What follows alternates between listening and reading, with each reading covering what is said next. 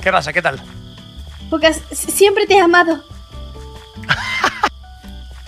Muchas gracias, mujer. ¿Y por qué me amas?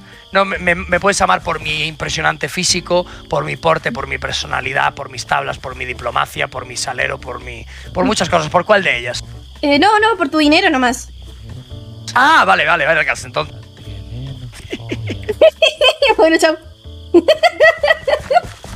¿Estás bien, papi? chao.